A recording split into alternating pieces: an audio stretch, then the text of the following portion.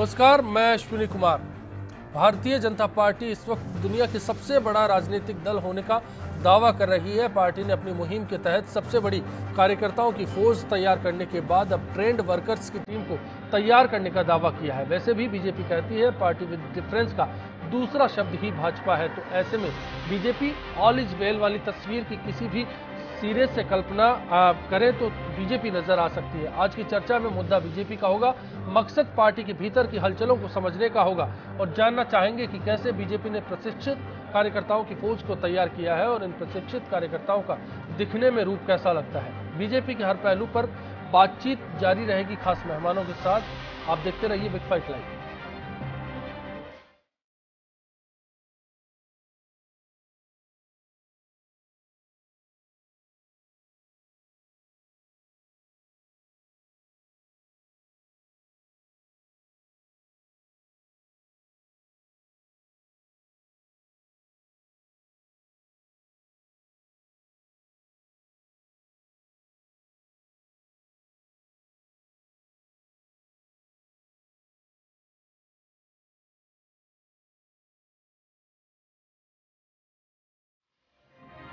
बात बीजेपी के प्रशिक्षित कार्यकर्ताओं पर होगी, लेकिन उससे पहले 2 अक्टूबर की घटना का रुख करेंगे और उसके बाद से लेकर अब तक क्या हलचलें जानने की कोशिश करेंगे बीजेपी के ज़रिए।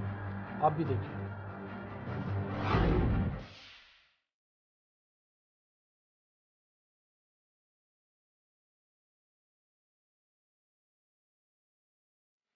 राजस्थान में भारतीय जनता पार्टी की ओर से कार्यकर्ताओं का महाप्रशिक्षण कार्यक्रम ज़ोर शोर के साथ चल रहा है। पार्टी ने इससे पहले सदस्यता अभियान में साढ़े दस करोड़ सदस्य बनाकर दुनिया की सबसे बड़ी राजनीतिक पार्टी बनने का दावा किया था। इसके बाद महासंपर्क अभियान चलाया गया और अब मंडल स्तर तक कार्यकर्ताओं को रीति नीति से वाकिफ कराने के बाद अनुशासित कार्यकर्ताओं की फौज को तैयार करना पार्टी का मकसद होगा। आखिर क्यों बीजेपी की पहचान पार्टी विद डिफरेंस का नारा है? ये समझाने की कोशिश प्रदेश भर में जारी है। इस बीच एक सवाल पार्टी के अंदरूनी अनुशासन का है, क्योंकि एक तरफ़ पार्टी का दावा है कि प्रशिक्षित कार्यकर्ताओं की फौज को तैयार किया जा रहा है। तो दूसरी ओर, बीते दिनों चंद मसले ऐसे भी सामने आए जो प्रशिक्षित फौज के साथ साथ पार्टी के अंदरूनी अनुशासन पर सवाल खड़े करते हैं। मसला 2 अक्टूबर को हुए उस वाक़े का है, जब ऐसे ही ट्रेनिंग कैंप के समापन कार्यक्रम में पार्टी के वरिष्ठ नेता घनश्याम तिवाड़ी को शिरकत करनी थी, लेकिन हुआ ठीक उल्टा। तिवाड़ी के पहुँचते ही सांगनेर मंडल के भीतर की गुटबाजी सामने आ गई। सांसद रामचरण बोहरा के समर्थक बताए जाने वाले चंद लोगों ने तिवाड़ी के साथ इस कदर बदसलूकी की, जिसमें तिवाड़ी को हल्की चोटें भी आई और कुर्ता तक फट गया। इस वाक्य के ठीक अगले दिन तिवाड़ी समर्थकों ने प्रदेशाध्यक्ष अशोक परनामी से शिकायत की।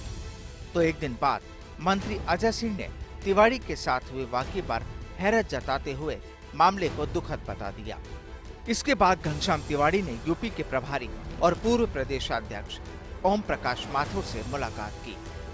माथुर ने भी कह दिया, जिस पार्टी में बड़ों का सम्मान ना हो, वो पार्टी किस दिशा में जाएगी? साथ ही प्रदेश नेतृत्व को सीख देते हुए ढिलाई न बरतने का पैगाम दिया। दोषियों पर सख्त कार्रवाई की मांग की। ऐसे में पार्टी के भीतर की गुटबाजी पर भी मोहर लग गई।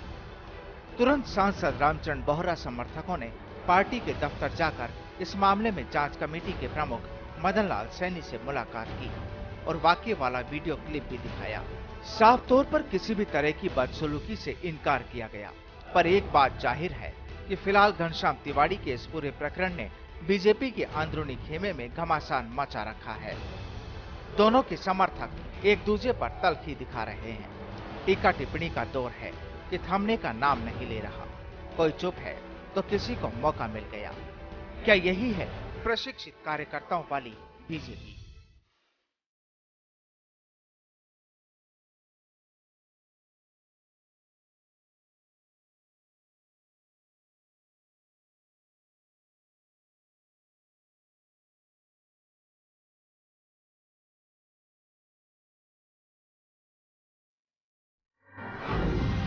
और इसी रिपोर्ट के साथ बिग फाइट लाइन में आज का सवाल खड़ा होता है, क्या बीजेपी कार्यकर्ताओं में प्रशिक्षण शिविर के नाम पर खेमाबंदी सामने आई है? आप अपनी राय हमारी वेबसाइट के साथ साथ फेसबुक और ट्विटर के ज़रिए भी हम तक पहुँचा सकते हैं। चर्चा में आगे बढ़ने से पहले आज के मेहमानों से आपका तारुफ करा देते हैं। बीजेपी के वरिष्ठ नेता मदन लाल सैनी जी हमारे साथ हैं। कांग्रेस नेता अर्चना शर्मा जी हमारे साथ हैं। सांगानेर से बीजेपी समर्थक अनूप पारिक हमारे साथ हैं। साथ ही वरिष्ठ पत्रकार ओम सैनी जी बातचीत में हमारे साथ होंगे। आप सभी का बहुत बहुत स्वागत है। और सबसे पहला सवाल मदन लाल सैनी जी आपसे। बीजेपी प्रशिक्षण जो अभियान है देश भर में चला, उसके बाद मंडल स्तर पर जारी है और बड़े कार्यकर्ताओं की पार्टी अब बड़ी प्रशिक्षित फौज तैयार कर रही है। पूरा कार्यक्रम किस तरह से चल रहा है? एक बार दर्शकों की जानकारी के लिए जानना चाहेंगे। भारतीय जनता पार्टी ने इस वर्ष को संगठन पर्व के रूप में मनाया। जी। प्रथम चरण के रूप में सदस्यता अभियान लिया गया। राजस्थान में अस्सी लाख हम्म। और देश में साढ़े दस करोड़ सदस्य बनाए गए। जी। उस समय चर्चा आई कई जगह से हम्म। कि मिस काल से मेंबर बनाए जा रहे हैं वो पार्टी में विश्वास है कि नहीं है चाहे जो मेंबर बन रहा है हम्म। उसके बाद में महासंपर्क अभियान चला ताकि जिन लोगों को मेंबर बनाया गया है उनसे दोबारा संपर्क किया जाए जी और उनसे पार्टी के बारे में उनको जानकारी दी जाए हम्म। ये अभी भी जारी है तीसरे चरण के रूप में महाप्रशिक्षण अभियान लिया गया हम्म। मंडल स्तर पर पहले कार्यशालाएँ आयोजित हुई राष्ट्रीय स्तर पर प्रदेश स्तर पर और डिवीज़न स्तर पर। जी। उसमें जो कार्यकर्ता तैयार किए गए जो हमारे विषय तय किए गए हैं वो विषय मंडल तक पहुँचने चाहिए। हम्म। इस दृष्टि से मंडलों का प्रशिक्षण अभियान लिया गया। राजस्थान में इस दौरान होता क्या है? प्रशिक्षण के दौरान कोई सीनियर पहुँचता है? क्या कुछ कार्यकर्ताओं से कहता है कार्यकर्ता क्या दोनों दोनों तरफों का संवाद होता है? ऐसा कुछ होता है इसमें? प्रशिक्षण में दो दिन का ये प्रशिक्षण है। पहले दिन रात्रि को वहाँ रुकना ही होता है। जी। रुकने से पहले दो सत्र हो सकते हैं तीन सत्र हो सकते हैं दूसरे दिन दो तीन सत्र होते हैं। ऐसे पाँच सत्र आवश्यक हैं। इन पाँच पाँच सत्रों में विषय क्या होंगे ये केंद्र की ओर से निर्धारित किया हुआ है। इसके लिए जो वक्ता आएँगे उनको पहले ही हमने सारी जानकारी दी हुई होती है। वो कहीं न कहीं कार्यशालाओं में इन विषयों पर अपने वरिष्ठ लोगों से सुन चुके होते हैं। तो वो लोग वहाँ नीचे मतलब अंततः इसका मकसद ये होता है कि पार्टी को एकजुट किया जाए देश में आगे बढ़ा जाए और जो कुछ 2014 के आम चुनाव में हुआ उसको आगे और मजबूती के साथ हासिल किया जाए। पार्टी क्या यही मकसद है? पार्टी का जो विचार है वो नीचे तक जाना चाहिए।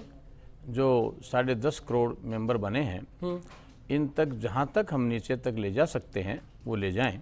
पार्टी और ये ले जाने वाले ये ले जाने वाले कार्यकर्ता को स्पष्टता चाहिए उसके पास में कि पार्टी क्या करना चाहती है कहाँ जाना चाहती है क्या हमारा उद्देश्य सत्ता प्राप्त करना ही है या और भी कुछ है।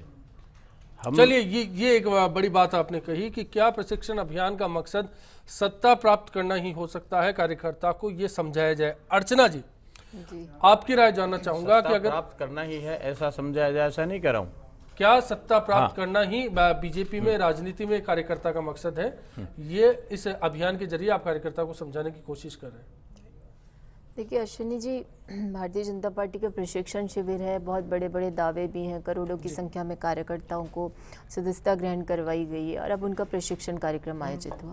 लेकिन दो तीन चीज़ें जो देखने को मिली वो ये है कि हालाँकि इनकी पार्टी का संगठन का अंदरूनी मामला है लेकिन चूँकि सार्वजनिक जीवन में हर चीज़ जो है वो प्रतिक्रियात्मक रूप से मीडिया के माध्यम से संज्ञान में आती है आपसी जो सिर्फ़ उटोवल है वो तो सामने आते ही आता है लेकिन एक चीज़ जो देखने को मिली वो ये थी कि आपने जब डिबेट की शुरुआत की तब आपने कहा पार्टी विद डिफरेंस क्योंकि मुझे लगता है पार्टी विद डिफरेंस की जगह पार्टी विद डिफरेंसेस ज़्यादा प्रतीत हो रही है क्योंकि ठीक है आपने एक प्रचंड बहुमत आपको मिला प्रत्याशी हम्म। सफलता थी और सफलता को जिस इलेक्शन मोड में अभी तक ये लोग हैं उस इलेक्शन मोड को आगे गति देने के लिए एक तरह से जो इन्होंने स्वयं स्वीकार किए कि मिस कॉल के माध्यम से सदस्य बने और एक प्रश्न भी खड़ा हुआ क्या वो सदस्यता प्रतिबद्धता की सदस्यता है या यूँ ही सदस्य बन गए हम्म।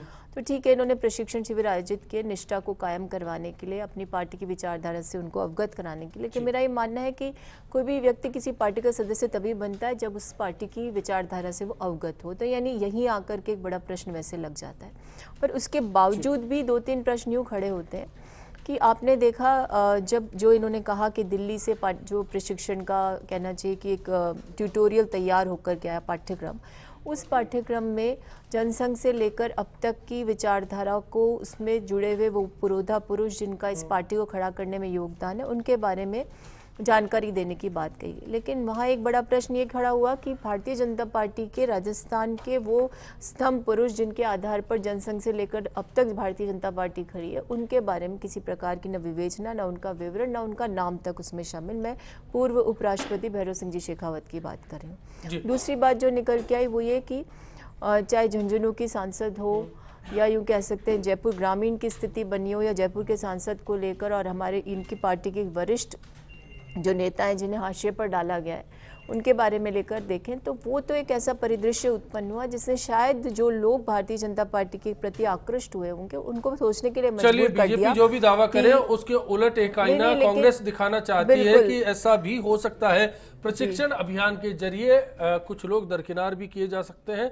ये भूलवश हुआ ऐसा होता आया है या ऐसा होता रहेगा? ये आगे समझने की कोशिश करूँगा। जी।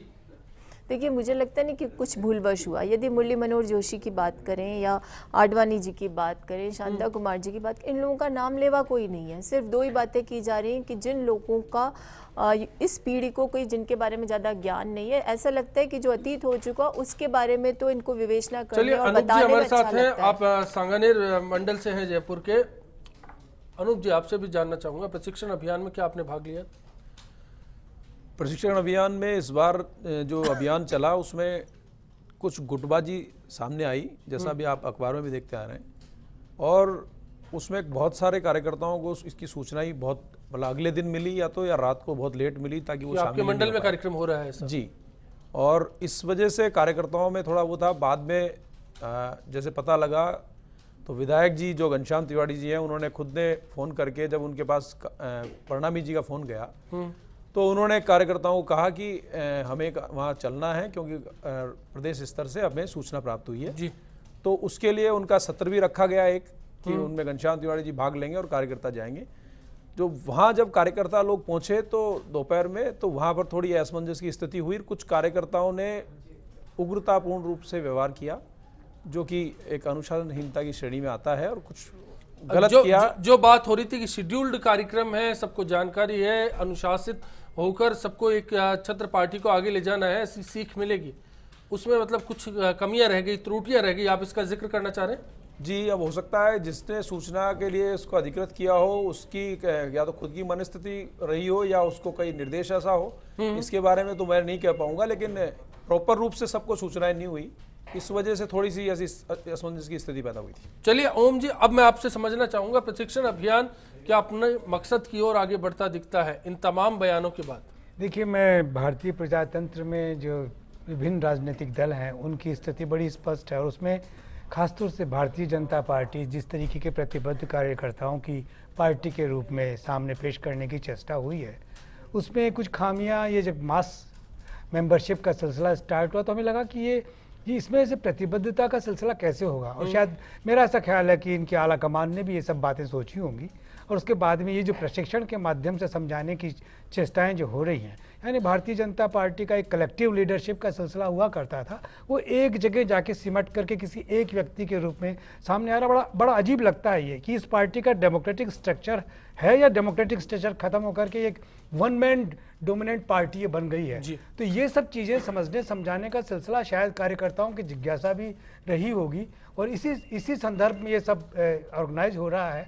उनको समझाया जा रहा होगा कॉन्स्टिट्यूशनली उनके क्या राइट्स हैं क्या ड्यूटीज़ हैं कौन सी विचारधारा किस विचारधारा के तहत कहाँ चलना है कहाँ जाना है क्योंकि कन्फ्यूज़न बड़ा व्याप्त है।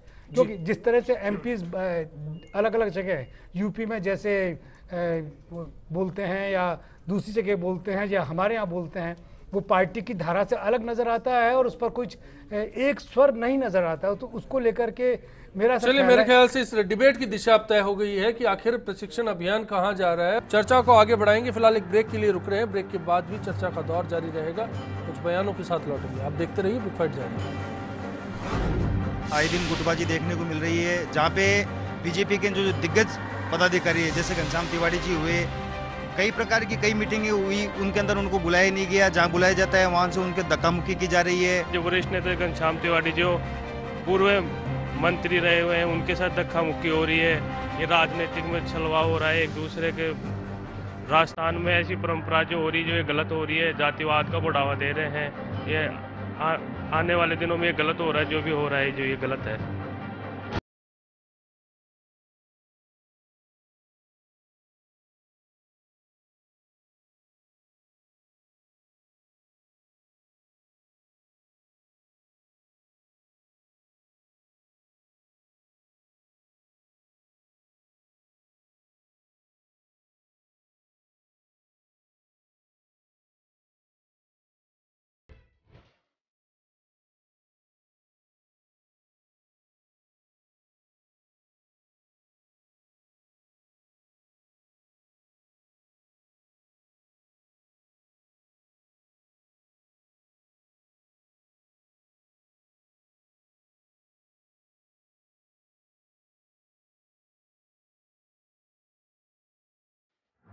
निश्चित रूप से जिस कार्यकर्ता ने भी अनुशासनहीनता की है उस पर अनुशासन कार्रवाई निश्चित रूप से होगी।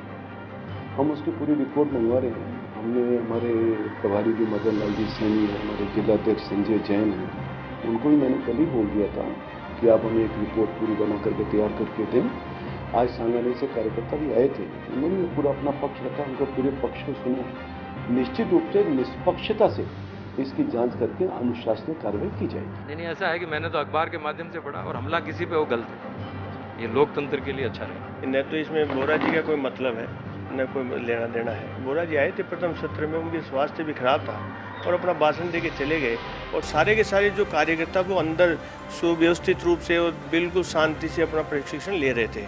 और जो ये घटनाक्रम हुआ सब बाहर हुआ है बाहर का के लिए भी हमारे मंडल अध्यक्ष जी ने, प्रदेश अध्यक्ष जी कुछ तथ्य पेश किए हैं, जिसमें एक वीडियोग्राफी भी पेश की है। वो सारे के सारे हमने पेश कर दिए। इस तरह से कोई नहीं है, न कोई भेदभाव है। हमारे विधायक महोदय के कोई मन में पता नहीं क्या कुंठा है। ऐसी घटनाएँ न हो, इसकी चिंता पार्टी को करनी चाहिए। विशेष करके जब पार्टी एक तरफ़ पूरे देश में एक अच्छे, स्वच्छ वायुमंडल में आगे बढ़ रही है, उस समय इस प्रकार की घटनाएँ होना बहुत दुखदपूर्ण है।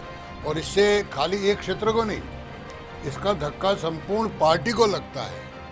और मेरा ऐसा मानना है कि जिन जिन्होंने भी ऐसा कृत्य किया है, पार्टी के प्रदेश नेतृत्व को तुरंत कार्रवाई करनी चाहिए, इसमें ढिलाई नहीं बरतनी चाहिए। और ऐसी घटनाएँ भविष्य में नहीं हो, इसकी भी पुख्ता व्यवस्था करनी चाहिए। अगर हम कार्यकर्ता एक दूसरे का आदर्श करना ही छोड़ देंगे, एक दूसरे का सम्मान करना ही छोड़ देंगे, मुझे पता नहीं ये पार्टी कहाँ जाएगी। चलिए ओम माथुर तो ये कहते हैं पार्टी कहाँ जाएगी? फ़िलहाल इंद्र ओझा साहब बीकानेर से और राजेंद्र जैन साहब अजमेर से हमारे साथ जुड़े हुए हैं। दोनों की राय के साथ आगे बढ़ेंगे। ओझा साहब नमस्कार बताइए। हाँ नमस्कार सुनील जी। जी सर। भाई साहब मैं दो बातें कहना चाहता हूँ। हम्म। एक तो मैं ये कहना चाहता हूँ कि देखिए भारतीय जनता पार्टी और कांग्रेस में ज़मीन अंतर है। जी। कांग्रेस के अंदर एक परिवार के हाथ में हमेशा कमान रही है भारतीय जनता पार्टी के अंदर ऐसा नहीं है। हम्म। भारतीय जनता पार्टी के अंदर योग्यता को प्राथमिकता प्राथमिकता मिलती है हमेशा तक जी। और भाजपा जो मेन जो मेन मुख्य जो आप बात पूछ रहे हो तो भाजपा भाजपा का कार्यकर्ता विचारधारा के प्रति बिल्कुल प्रतिबद्ध है और अनुशासित है। अनुशासनहीनता की भारतीय जनता पार्टी में कोई स्थान नहीं है। चलिए बहुत बहुत शुक्रिया। आपने अनुशासनहीनता का कोई स्थान नहीं है। अगर अनुशासनहीनता की जाती है तो फिर उसका क्या होगा? ज़रूर मदन जी से जानूँगा। उससे पहले राजेंद्र जैन साहब आपकी भी राय बताएँ। जी पारिक साहब और भाई लोगों सबको जो है हमारा नमस्कार। जी सर नमस्कार बताएँ। मैं ये कहना चाहता हूँ कि भारत की जो जनता पार्टी है ये विश्व में मानी हुई है। हम्म। बावजूद जो है दलाबंदी तो चाहे कांग्रेस में और सब में होता है लेकिन इस तरह का दिखाना नहीं चाहिए था। घनश्याम जी तिवारी सम्मानित थे और वरिष्ठ व्यक्ति हैं उनके साथ ऐसा नहीं होना चाहिए था। चलिए बहुत बहुत शुक्रिया आपका मदन जी। इस पूरे प्रकरण में जाँच के लिए आपको नियुक्त किया गया है पार्टी प्रदेशाध्यक्ष की ओर से। आप दोनों पक्षों से भी मिल चुके हैं। अब मैं आपसे जानना चाहूँगा प्रशिक्षण शिविर के दौरान जो कुछ हुआ उसको लेकर क्या तथ्य आपके सामने आए? ऐसा है कि मेरा सत्र चल रहा था। जी। समय पूरा हो रहा था। मुझे बताया गया कि घनश्याम जी आए हैं। तो मुझे उनको रिसीव करना चाहिए। घनश्याम जी मेरे व्यक्तिगत बहुत अच्छे मित्र हैं। इस नाते भी और वहाँ के विधायक हैं इस नाते भी जी। मैं मंडल अध्यक्ष के साथ गया था। उस समय जब हम वहाँ पहुँचे दरवाजे पर उस समय तक तो मुझे पता लगा घनश्याम जी जा चुके हैं और उनके साथ अभद्र व्यवहार हुआ। जी। मैंने उनसे बातचीत की तो उन्होंने कहा मैं तो घर आ गया हूँ। अच्छा नहीं हुआ ये। इसके बाद में मैंने कार्यकर्ताओं से जानकारी ली। कुछ तथ्य मेरे सामने आए। जी। उन तथ्यों के आधार पर अध्यक्ष जी को मैंने एक रिपोर्ट बनाकर हमारे जिला अध्यक्ष जी हैं उनको दी कि मैं टूर पर जा रहा हूँ। जी। एक दिन दो दिन में और कोई जानकारी आती हो तो अपन इसको बैठकर चलिए कुल मिलाकर इस दिशा में ये बात तो सामने आई कि अभद्रता हुई लेकिन घनश्याम तिवाड़ी प्लास्टर बंदा हाथ दिखाते हैं। और उस बात का ज़िक्र करते हैं कि उनके साथ मारपीट की गई। अलग हिस्सा है, जाँच में पार्टी तय कर लेगी हुआ क्या? लेकिन इससे पहले जानना चाहता हूँ कि क्या प्रशिक्षण अभियान के दौरान किसी इलाके के विधायक को वहाँ आमंत्रित नहीं किया जाता? आमंत्रित देरी से किया जाता है, जैसे कि अनूप जी ने शुरुआत में ज़िक्र किया था और फिर जब वो पहुँचते हैं तो जो कुछ होता है उसके लिए क्या ज़िम्मेदारी पार्टी नहीं लेगी? ऐसा है कि जो मंडल की शिविर होता है जी उसमें मंडल अध्यक्ष हम्म। की ज़िम्मेदारी होती है वो सबको बुलाए सक्रिय सदस्य उनको बुलाए विधायक भी उसमें होता है जी दूसरे हमारे वहाँ के जो पदाधिकारी हों कोई प्रदेश की वर्किंग कमेटी का कोई मेंबर उस एरिया में रहता है हम्म। उसको सूचना देने का काम भी उसका होता है और एक सूची बनती है हम्म। उस सूची में सब अपेक्षित लोग रहने चाहिए। ये सामान्य प्रक्रिया है। हम्म। और इस मामले में मुझे चूक हुई आपको लगता है मंडल स्तर पर कहीं पर चूक हुई है? मुझे जानकारी दी गई। प्रदेश अध्यक्ष जी ने मुझे कहा जी। कि घनश्याम जी को सूचना नहीं मिली है। हम्म, हम्म।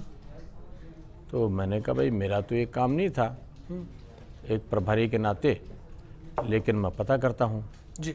मैंने पता किया तो ये बात बिल्कुल सही निकली कि उनको सूचना नहीं थी। घनश्याम जी से मैंने बातचीत की तो उन्होंने कहा नहीं मुझे सूचना नहीं दी है। मैंने उनको रिक्वेस्ट किया कि सूचना नहीं दी कोई बात नहीं मैं सूचना दे रहा हूँ। प्रदेश अध्यक्ष जी ने कहा इस कारण से वो वहाँ पर आए थे।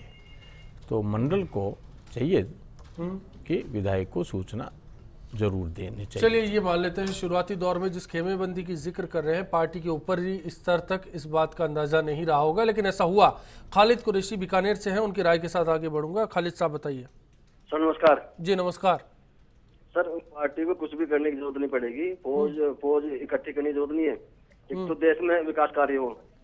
दूसरे देश में ये दादी जैसा ये दादरी कांड हुआ है वो ना हो। जी ये अपने घनश्याम जी तिवारी जी के साथ जो गुस्ताखी हुई है ऐसी गुस्ताखी आइंदा ना हो।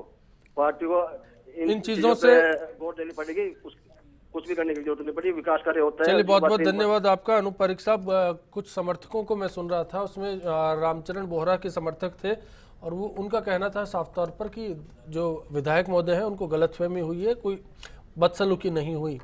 हाथ के पट्टे की कहानी राम जाने क्या होगा?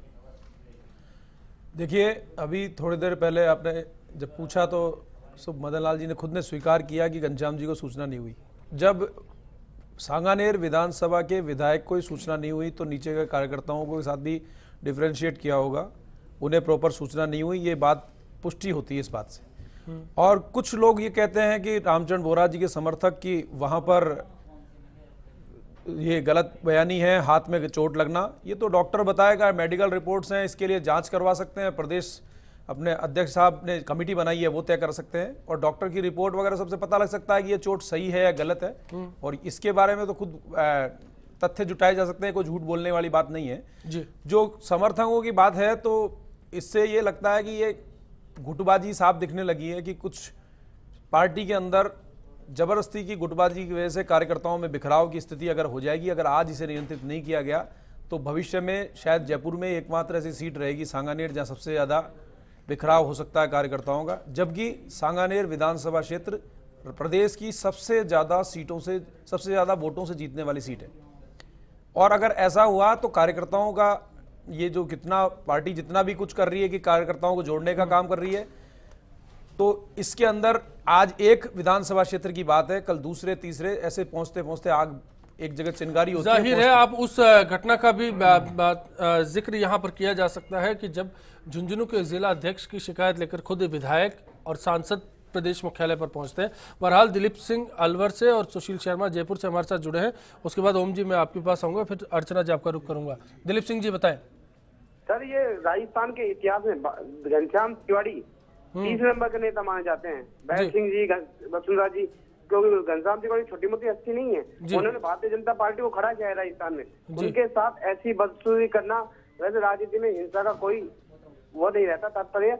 पर उनके साथ ऐसी आवर्ता करना मतलब राजस्थान की राजनीति में कलंक है।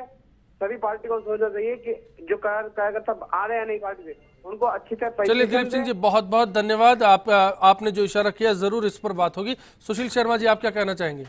हाँ नमस्कार रजनी जी। जी सर नमस्कार। सर मैं मदन लाल जी से जानना चाहता हूँ हम्म। कि इन्होंने ऊपर के स्तर पर क्या प्रशिक्षण दिया ये तो हमें पता नहीं क्योंकि ये इनका है अंदरूनी मामला लेकिन नीचे मंडल पर जो प्रशिक्षण दिया है हम्म। उसकी एक तस्वीर हमें देखने को मिली दो अक्टूबर गांधी जयंती के दिन बड़ा दुर्भाग्यपूर्ण स्थिति की हमारे एक जो सीनियर लीडर है इनके पार्टी के और ब्राह्मण समाज का एक नेता है उसको इस ढंग से इन्होंने पिटवाया हाथ तोड़ दिया अब ये पूछ रहे साहब ये तो हाथ टूटा ही नहीं होता ऐसे नाटक कर रहे इतना बड़ा सीनियर आदमी ऐसी ऐसी हरकत करेगा क्या चलिए ज़रूर बात होगी। ओम जी आपकी क्या राय है? आपको लगता है कि दिश, किस दिशा में जा रहा है प्रशिक्षण अश्वनी देखिए सियासत के खेल के लिए हमें कुछ पर्दे खोलने पड़ेंगे और हम मीडिया के लोग बड़ी आसानी से इन चीज़ों को समझ सकते हैं। घनश्याम तिवाड़ी राजस्थान की भारतीय जनता पार्टी के उन नेताओं में से हैं उन कद्दावर नेताओं में से हैं हम्म। जिन्होंने ये क्षमता दिखाई कि राजस्थान की वर्तमान मुख्यमंत्री को आईना दिखाया जाए। उसका नतीजा ये है कि उनके साथ में ताल्लुकात प्रारंभ से ही बहुत बिगड़े हुए हैं।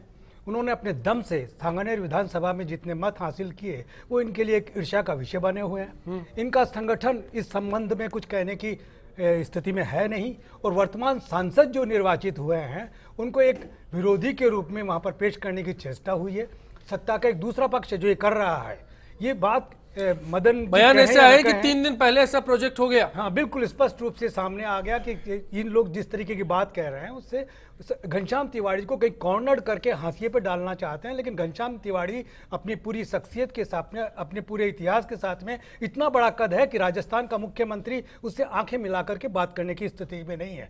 बात तो कही जानी चाहिए थी जो कह रहे हैं जाँच कर रहे हैं जाँच क्या कर रहे हैं? उनका टूटा इस मसले पर तुरंत एक्शन होना चाहिए हाँ, आपको लग रहा है। चाहिए और उसमें कोई बात नहीं हो रही है। अर्चना जी कांग्रेस से भी बयानबाजी का दौर शुरू हो गया है। कांग्रेस से आज दो बयान को तो कोई कोई ना कोई ज़रिया चाहिए भारतीय जनता पार्टी पे कुछ करने के लिए वो बोलेंगे। लेकिन हकीकत यह है घनश्याम तिवाड़ी को हाशिए पे बिठाने की चेष्टा हो रही है कॉर्नर करने की चेष्टा हो रही है और संगठन जिस तेज़ी जो दिलीप सिंह जी जिस बात का ज़िक्र कर रहे थे वो और सुशील जी ने जो बात कही वो सामने आ रही है। अर्चना जी।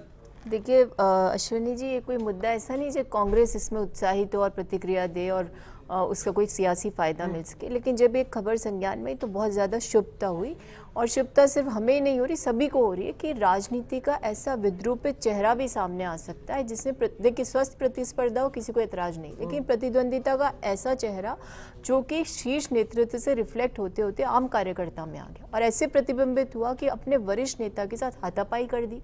और उसके बाद ये प्रति प्रश्न खड़ा किया कि कहीं ऐसा ढोंग तो नहीं कि हाथ में चोट नहीं लगी और वो उसका पट्टा बाँध करके घूम रहे हो।